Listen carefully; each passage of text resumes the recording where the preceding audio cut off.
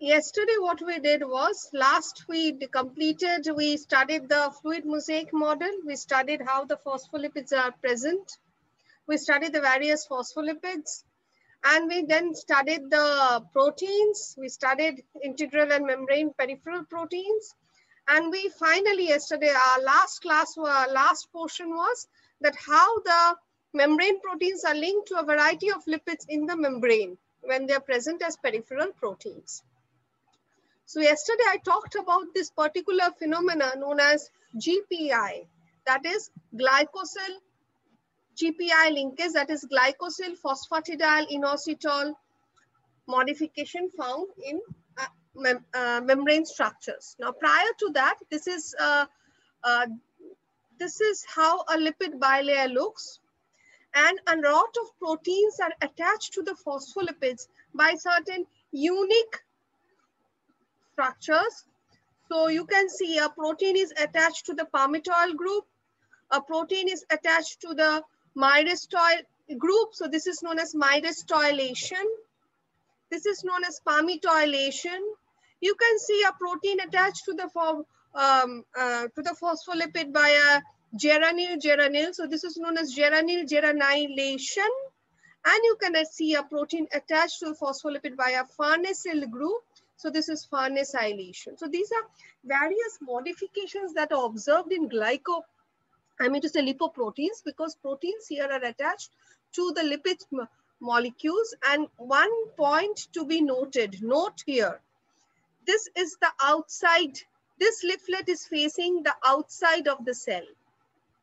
This lipid, uh, this uh, leaflet is facing the interior of the cell when I talk about a lipid bilayer, this is the outer leaflet and this is the inner leaflet. So you see the proteins which are attached to the inner leaflet at times are attached to the phospholipids by a palmitoylation or, or, or a palmitoyl group or a myristoyl group or a geranyl geranyl group or a farnesyl group. When I talk about the exterior of the cell surface. And when I'm talking about the outer leaflet, you can see that in this particular structure, what you can see is that a protein is being attached to the outer surface of the plasma membrane by the presence of, by the help of carbohydrates. So this is the glycan portion. This is the carbohydrate portion by which the protein is being attached to phosphatidylinositol. Phosphatidylinositol is a phospholipid. So we have a lipid structure and we have a protein structure here.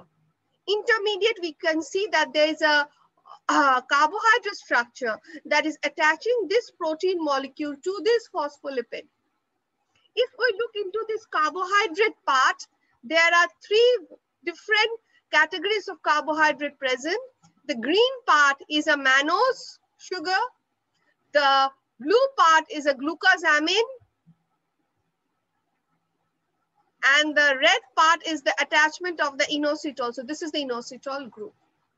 So this is the GPI uh, modification that is found on the outer surface of the lipid bilayer. So this was, this is the GPI anchored proteins. These proteins are anchored to the phospholipid by the GPI anchorage.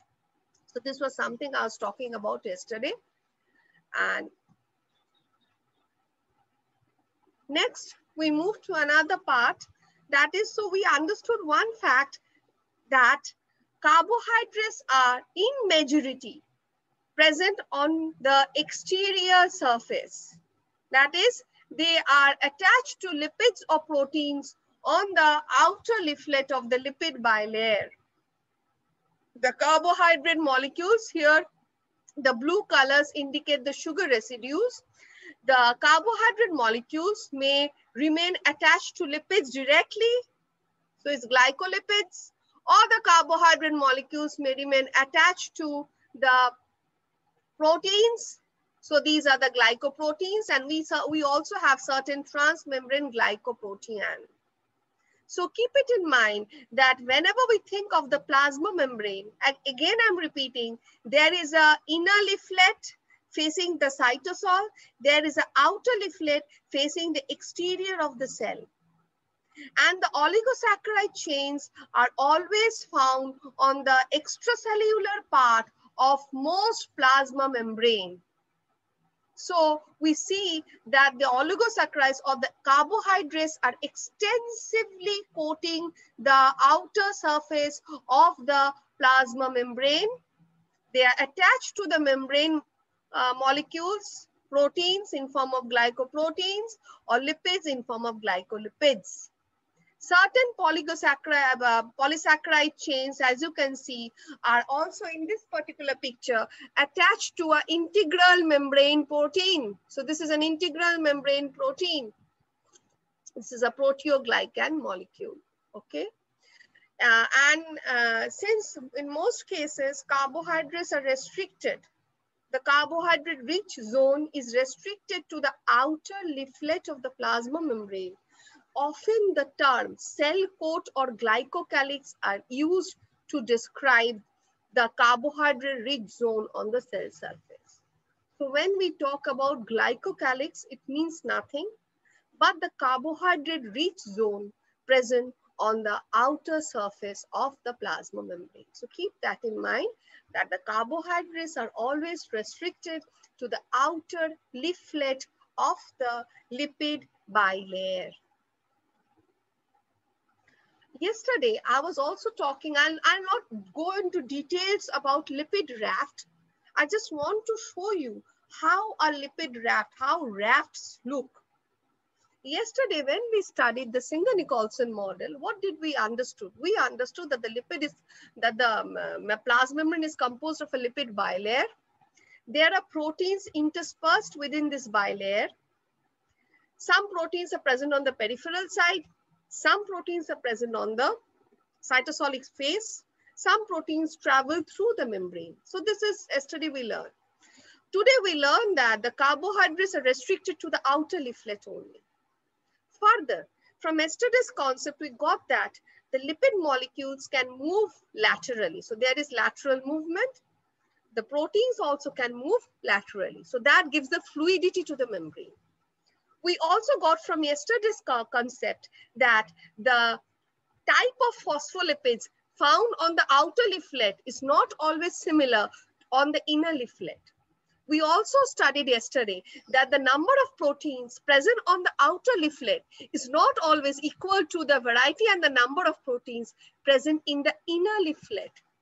So we understood that the membrane is fluid and the membrane is asymmetric yesterday I also said that presently the concept is that since the proteins and the lipids can move in within the membrane, because this, there is a fluidity in the membrane. So at times there is a local aggregation of proteins and lipids occurring within the membrane. So they have become locally clustered. This interaction, protein-protein, protein-lipid and lipid-lipid interaction within the membrane brings them together and they compartmentalize the membrane. You see, here in this particular picture, if you look, these portions have come together. They are interacting. So this portion has become a separate compartment in the membrane. These portions, you see, these are free from such interactions, but this portion, the proteins have come together to interact with each other. The lipid molecules have come together to interact with each other. So this is the concept of raft domain. For example, let me give you a very simple example. When a signaling molecule from the environment reaches the plasma membrane, there are receptors for the signaling molecule. In the normal condition, these receptors are present separately. They are present as single entities in the membrane. They are dispersed throughout the membrane. But the moment the signaling molecule starts moving towards the membrane, the receptors understand that there's a signaling molecule coming for it. So they tend to aggregate. They move through the membrane. They tend to aggregate and come to come near to one another. So this local aggregation is sort of a raft.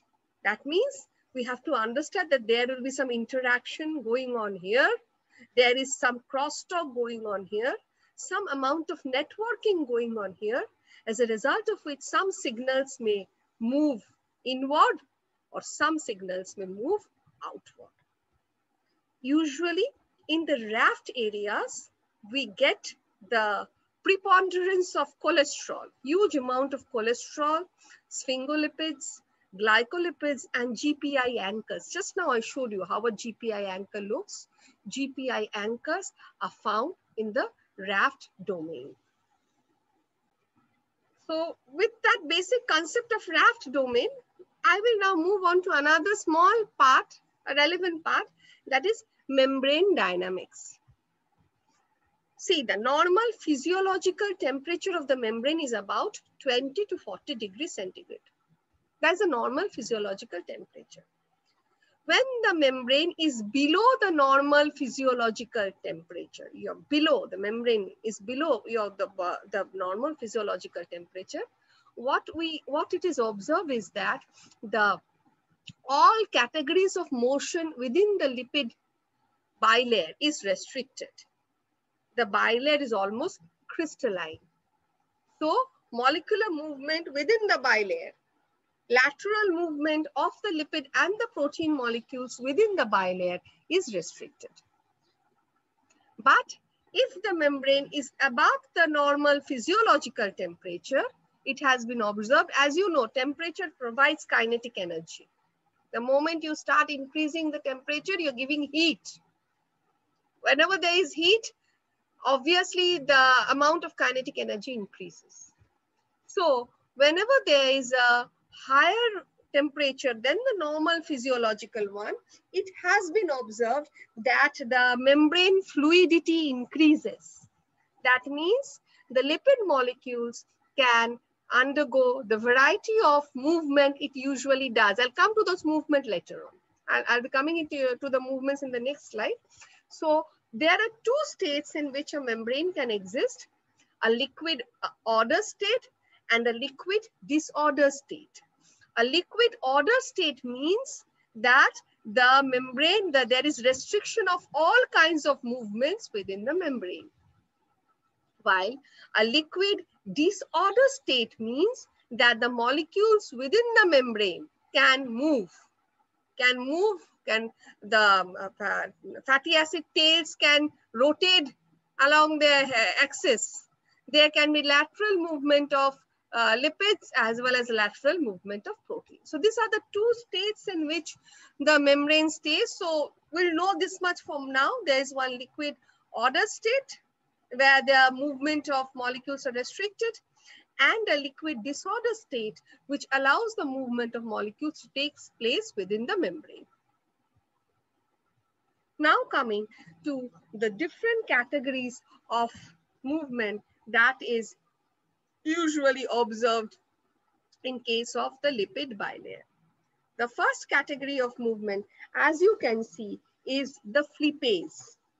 Now, the flippase you can see, it is catalyzing the uh, transfer of phospholipids from the outer leaflet to the inner leaflet.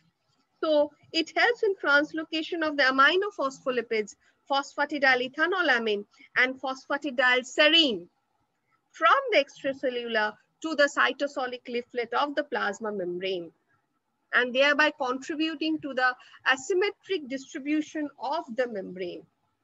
By any chance, if any phosphatidylserine migrates to the outer leaflet, yesterday, as I said, phosphatidylserine is an important phospholipid because its presence on the outer leaflet is an indication that cell, the cell is dying. So we cannot allow phosphatidylserine to move out into the cytosolic leaflet. And if by chance any phosphatidylserine moves out into the uh, um, uh, cytosol, I'm sorry, extracellular, I want to say extracellular leaflet, outer leaflet, then this flippase enzyme with the help of ATP in ATP dependent manner, bring back that phosphatidylserine and it, uh, into the cytosolic leaflet. So flippase helps in maintaining that phosphatidylserine and phosphatidyl ethanolamine remains restricted to the cytosolic leaflet. So it helps in or it contributes in maintaining the asymmetricness of the membrane. So that is about uh, the uh, Flippase 1. As I said, it plays an important role in keeping phosphatidylserine to the cytosolic leaflet of the bilayer. Next come floppase. As you can see, floppase, it moves phospholipid from the inner leaflet to the outer leaflet. It also, this is also an enzyme which uses ATP or energy to move a phospholipid from the inner to the outer leaflet. And finally, we have the last category of enzyme that is scramblase. Now, these are enzymes or proteins that move phospholipid across the bilayer down its concentration gra gradient. That means if a phospholipid is higher here and lower here, it moves it down its concentration gradient. So since the movement of protein is occurring down its concentration gradient, as you can see, it is not ATP dependent. Whenever there is a higher concentration of a phospholipid on the outer leaflet, scramblase then to, in order to maintain an equilibrium between the two leaflets helps in moving that uh, phospholipid from the outer to the inner or inner to the outer. So at times what happens in case of phosphatidylserine, as you see, as you have uh, heard by now, that it should be restricted to the inner leaflet. So at times it might happen that by moving phosphatidylserine down its gradient, we have high phosphatidylserine on the inner leaflet. So often scramblase might then move phosphatidylserine to the outer leaflet, but that shouldn't be done. So then Flippase comes and again moves the phosphatidylserine back to the inner leaflet. So this is how the three enzymes work. These two enzymes need energy, but the scramblase does not need energy. As I said, that it is moving a, uh, a phospholipid down its concentration gradient. And one more thing about scramblase is that the activity of scramblase has been seen to increase with increase in the calcium concentration. So whenever there is a, a, higher calcium concentration in the inside of the cell, which may be due to cell injury or apoptosis, which may be due to cell injury or apoptosis, then scramblase often comes in and helps the movement of phosphatidylserine down its concentration gradient. So it moves phosphatidylserine from the inner leaflet to the outer leaflet. So the activity of uh, um, scramblase is often associated with the calcium concentration within the cytoplasm. The next slide is a beautiful slide. I just wanted to show you how many categories of movements take place within the lipid bilayer. So there are these bond vibrations occurring within the lipid bilayer. The tails of the fatty acid chain can rotate around their axis. So there is a rotational diffusion movement occurring within the lipid bilayer. Now, uh, there is this flip-flop movement. Just now we saw there is this flip-flop movement occurring within the lipid bilayer. And there is lateral undular, I mean, a lateral diffusion occurring within the lipid bilayer. So in a liquid state, in a fluid state, we see that there might be some undulations occurring within the membrane. The membrane is not rigid. This is the very same, uh, this is from another book, but this is the same uh, thing that we just now discussed, the presence of three category of enzymes, flippase, floppase, ATP dependent. One moves phospholipids from outside to inside, and the other moves phospholipids from inside to outside. These both ATP dependent, talking about scramblase, it moves phospholipid along its concentration gradient in both directions. Now, so this is a fact that lipids and proteins move through the membrane. How was this proved? Because when we hypothesize something in science, we need to prove that. So this particular experiment, this often comes in your um, examinations. Now this particular question is that uh, how do how could we prove that indeed lipid and proteins move through the membrane? So this experiment is the fluorescence recovery after photo-bleaching of FRAP experiment. In this particular experiment, what was done? You see, this is a cell. The cell was first fluorescently labeled all the lipid molecules. We, we know that a cell is covered by a plasma membrane. So all the lipid molecules on the plasma membrane, and by now you know that the plasma membrane is formed by a lipid bilayer. So the outer leaflet of the lipid bilayer was fluorescently labeled.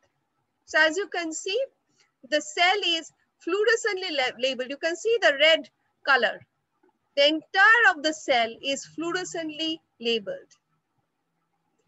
Once the cell was fluorescently labeled, it was viewed under fluorescence microscope. Next, what was done? Next, a very small region of around 5 micrometer square was taken and intense laser radi was given here. So you can see intense laser was given here. As a, as a result of intense laser given here, the this portion of the fluorescence got bleached. So the, this portion of the lipid molecules lose their fluorescence. So you can see the bilayer exactly at the point where there was intense laser given, the bilayer has lost its fluorescence. So this is bleaching. So the layer, bilayer was bleached for about five micrometers square. And then the bilayer was allowed to stand. So after time it was seen that, you can see, we are seeing that fluorescently labeled phospholipids. Now there was no fluorescent on this phospholipids. So this area was totally bleached. But after some time, it is being observed that over microscope that certain fluorescence is again being seen here. So it is obvious indication that phospholipids from the nearby areas moved into these bleached areas and the bleached phospholipid moved on to the neighboring areas. So this is only possible if lipid molecules can move within the bilayer. So this experiment proved that lateral diffusion of lipid molecules took place. This is another experiment which supports the fact when Singer and Nicolson provided their model for fluid mosaic, fluid mosaic model, again I said it was a hypothesis, but that hypothesis needs to be proved. So this was the experimental evidence in support of the fluid mosaic model. This experimental evidence was first provided by Branton in 1968. What he did, he used the freeze fracture electron microscopy technique. So what actually he did was that in this technique, how did he study the molecular arrangement? This technique is done by rapidly cooling or freezing the sample of plasma membrane and then fracturing it in vacuum while it is still at minus 100 degrees centigrade. Then, so the plasma membrane was taken and it was rapidly cooled and fractured at minus 100 degrees centigrade. Then a knife was taken and a knife was allowed to cut through the lipid membrane. Now, as we know that the lipid exists in form for bilayer. So there is a very finer uh, gap between the two bilayers. So a knife was allowed to pass through that bilayer, the gap between the two bilayers. So when the knife was allowed to pass through the gap after the fracture, the sample was left in vacuum for long enough to allow some water to evaporate from the exposed surface. So once I pass a knife through the bilayer, then we are having, we have, we have opened up the bilayer and now it is left in vacuum for to allow some water to evaporate from the exposed surface. So the moment the water is evaporating from the exposed surface, This phenomena is known as freeze etching. Once this freeze etching part was done, now the exposed surface, so this is the inner, within the inner surface of the lipid bilayer. So this exposed surface is then shadowed with electron dense combination of carbon and metal, such as platinum, to provide the necessary contrast after which organic acids were used by um, uh, this, uh, after which the organic material was not organic acids, the organic material was removed by acids to leave a metal replica for examination under electron microscopy. So when this particular structure was uh, observed in electron microscopy, the replica was almost a natural representation of the freeze etched object in the plasma membrane. And the replica actually provided the first concept that yes, indeed the Singer-Nicolson's hypothetical model of uh, fluid mosaic, hypothesis of fluid mosaic model was true. So this was about the um, proving of the experimental uh, evidence in support of fluid mosaic model of plasma. And finally, there's another experiment that we need to know is the Frye and Edidin experiment in, in 1970, where they demonstrated that membrane proteins are also capable of moving through the membrane.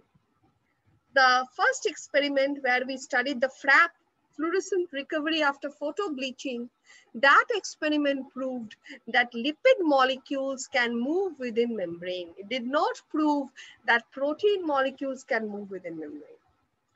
This experiment was done to prove that just like lipid molecules are capable of moving within the membrane, protein molecules are also capable of moving within the membrane.